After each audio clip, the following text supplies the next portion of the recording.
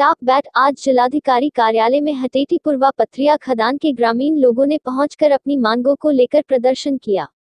बांदा आपको बता दे, पूरा मामला जिला मुख्यालय के कलेक्टर परिसर का है, जहाँ आज ग्राम हटेटीपुरवा पथरिया खदान के निवासीगण जिला कलेक्टर परिसर पहुंचकर प्रदर्शन कर जिलाधिकारी महोदय को लिखित शिकायती पत्र देकर मांग की है। ग्रामीण लोगों ने आरोप लगाते हुए बताया कि हम अत्यंत गरीब, असहाय मजदूर है। हम लोग आबादी घर बनाकर यही आवाज़ चले आ रहे हैं। 17 दिसंबर को प्रार्थीगणों को बिना कोई नोटिस दिए कुछ भूमाफियाओं व बालू माफियाओं ने प्रशासन के कुछ अधिकारियों से साठ गांठ करके हम लोगों के मकानों को जेसीबी मशीन से ध्वस्त कराकर उन्हें मुकदमे में फंसाने की धमकी दी गई है। हम लोगों के अवैधानिक रूप से मकान ध्वस्त कराए जाने से वह सपरिवार बेघर हो गए हैं। इस भीषण ठंड में खुले मैदानों में रहने को मजबूर है। वही तहसीलदार सदर अवधेश कुमार निगम ने बताया कि जो लोगों ने फर्जी तरीके से इन मजदूरों को ज़मीन की खरीद फरोख्त की है उन पर जाँच के बाद कानूनी कार्रवाई की जाएगी।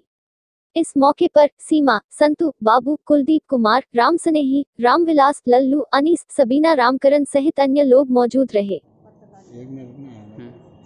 क्या नाम है आपका? मेरा नाम है चुनकिया देवी। चुनकिया देवी। कहाँ से आई हैं आप? मैं आई हूँ पथरिया खदान से। पथरिया खदान से। हाँ। क्या मामले को लेकर के आई हैं? क्या समस्या है आपकी? सर मेरे मकान रहे तो पूरे मकान जाके धोखाधड़ी से गिरा दिया गया है। मेरे से कुछ नहीं सुना। कौन लोगों ने गिराया? इन लेखपाल थे दोनों और वो तो पटवारी तो, तो प्रधान तो तहसीलदार तो सारे आदमी जाके हमें दो मिनट की मोहलत नहीं दी पूरी फौज को फौज लेके अचानक से पूरा मकान गिराया है। क्यों गिराया गया था? क्या कारण था इसका? हमारा कोई नहीं जाना रहा ना हमें कोई मतलब क्या सरकार की ज़मीन में हम बना लिए तो क्या सरकार क्यों कॉलोनी देती है बसने के लिए? सब लोगन का देती है कॉलोनी। आज सरकार क्यों सुविधा लेबर के लिए मर रही है? कि लेबर का ये नहीं हो जनता के लिए मर रही है? जनता के रहने का घोसला गिरा दिया गया। और आज हमें ये कानून बता रहे हैं कि सरकार की ज़मीन है।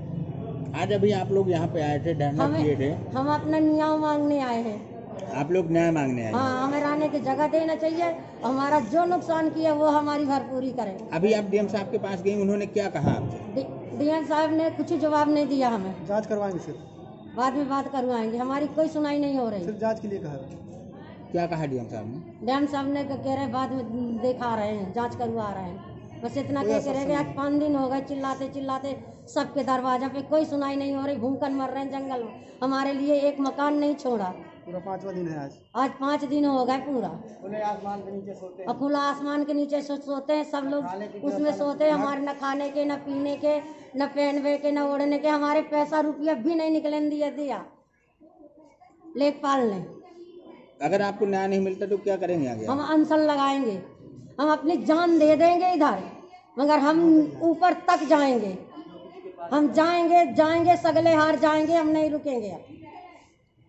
ये लोग कुछ हथेली पूर्व से कुछ लोग आए हैं। सर ये कह रहे हैं कि हमारा मकान ज़बरदस्ती गिरवा दिया गया। क्या है पूरा मामला ये?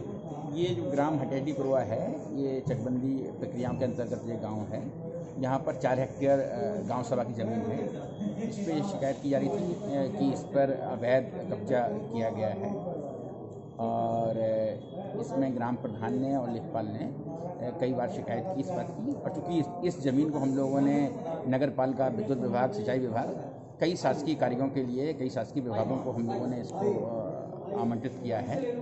उनका काम होना था जैसे ही पता चला कि वहाँ पर सरकारी ज़मीन विभाग का निर्माण किया जाएगा तो कुछ लोगों ने वहाँ पर बाउंड्री वॉल और गैर आवासीय निर्माण कर रखा था जिसको इन लोगों के पास जो रजिस्ट्री का एक कागज़ दिखा रहे हैं सबकी फ़ोटो हाँ, लगी हुई तो वो वो उसका क्या मतलब होता है? ये लोग दे रहे हैं कागज़। आज दिखाया है एक जयकरण पाल करके है कल्लू पाल है जिसके लोगों ने दिखाया स्टाम्प पे खरीद फरोख्त हुई है उनके खिलाफ भी कार्रवाई की जा रही थी यही मांगे गए थे ये डॉक्यूमेंट्स आ गए हैं। किसी ने सरकारी ज़मीन को अपना बताते हुए इन लोगों को स्टाम्प पेपर पर विक्रय किया है। उसके खिलाफ निश्चित रूप से कार्रवाई की जाएगी। क्या इनको जो इन्होंने दिखाई जो जहाँ पे जिनकी ज़मीनें हैं क्या उनको न्याय मिल जाएगा उसमें?